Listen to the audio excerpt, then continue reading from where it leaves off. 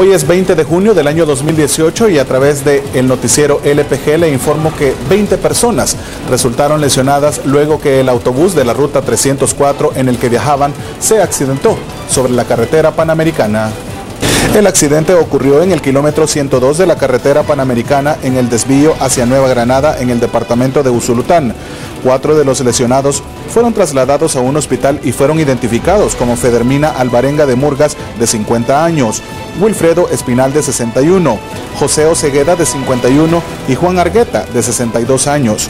Los otros pasajeros afectados fueron atendidos en el lugar, informó Cruz Roja Salvadoreña. La ruta 304 presta servicio entre los departamentos de La Unión y San Salvador. También le informo que los empleados de Medicina Legal de San Vicente que mantenían una reducción de labores informaron esta mañana de miércoles que han dejado sin efecto la medida, esto luego que se les notificara que sus peticiones han sido escuchadas en la Corte Suprema de Justicia. Los trabajadores denunciaban supuesto acoso laboral por parte de la directora regional Gladys Avilés de Cantor, por lo que solicitaban su remoción y también la de la administradora general.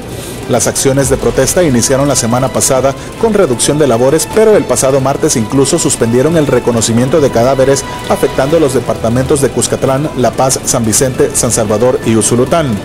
En ocasiones anteriores, la funcionaria Gladys Avilés ha manifestado que el descontento proviene de un grupo de empleados al cual ella les ha exigido el cumplimiento de sus deberes laborales. Además destacó que tres de estos empleados ya han sido condenados por amenazas y expresiones de violencia contra la mujer en perjuicio de su persona. También le informo que Donald Trump firmó este miércoles un decreto que pone fin a la separación de familias que llegan de forma indocumentada a la frontera entre Estados Unidos y México. La intensa presión dentro y fuera del país llevó este miércoles al presidente Donald Trump a firmar un decreto que pone fin a la separación de familias de indocumentados en la frontera con México. Pese a esto, se mantiene la política de perseguir por la vía criminal a todo el que intente ingresar de forma ilegal al país norteamericano. El decreto permite que los niños permanezcan con los padres detenidos, quedando bajo custodia del Departamento de Seguridad Nacional. En las últimas semanas, Estados Unidos ha separado a cerca de 2.000 niños de sus familias por ser migrantes irregulares bajo esta política. Al menos 93 de estos son salvadoreños.